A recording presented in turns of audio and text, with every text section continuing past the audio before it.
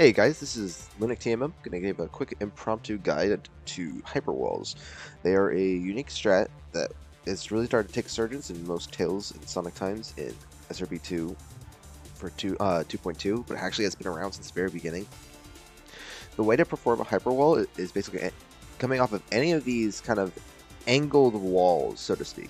Doom Builder, you have to be thinking about is build in a grid. So like this wall right here is perfectly along the grid and will give you no speed whatsoever. However, if you start to go at a wall like this at an angle, you build up a lot of speed really quickly. In fact, if you come at the wall at a certain angle, you build up a little more speed. Then, if you have a longer wall, kind of like this, you get a ton of speed. The point being is that you can run up against any of these walls like this, and it will build up your speed really quickly. And if you get kind of, you have to get kind of lucky, you know the right angle. But if you run into a wall at a very shallow angle, and then turn yourself to be about like a 45 degree angle to the wall, you'll just build speed off of that much more quickly. Now, this wall up here is not particularly useful in the run since we just have speed shoes that come through, but it's a great wall to practice off of. Uh, a couple walls that Tails actually uses in the run is right here at the start of Green Flower. You just rub up against this one.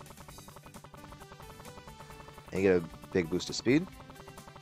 And then you go off this one as well. Now, the goal should be to not slow down at all when you hit those hyper walls because you want to be utilizing your run speed already to build up even more speed. Uh, but this is a great uh, way to practice since there's one right at the start. And you want to be able to carry it all the way to here to when you just initiate a new one. And then, of course, one of the big hyper walls that uh, Sonic and Tails use is right here at the start of Deep Sea.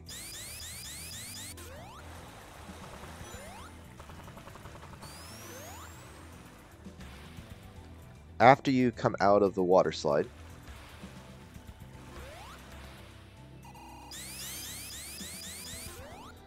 this big old wall right here. Now, hopefully you would be able to keep uh, spin dash speed to get through, and then you would be able to kind of get up here. But anyway, that's kind of hyper walls. Now, these walls are not specific to these stages. They can be in any sort of stage, and they can be any angled wall. Like even this wall right here should be able to build me up a little bit of speed when I come out at an angle.